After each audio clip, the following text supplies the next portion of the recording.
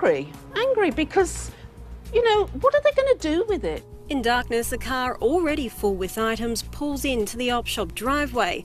Two people rummage through the pile, filling up space left in the boot, and off they go. Suffice us to say, what we're being left with after they've been basically is only fit for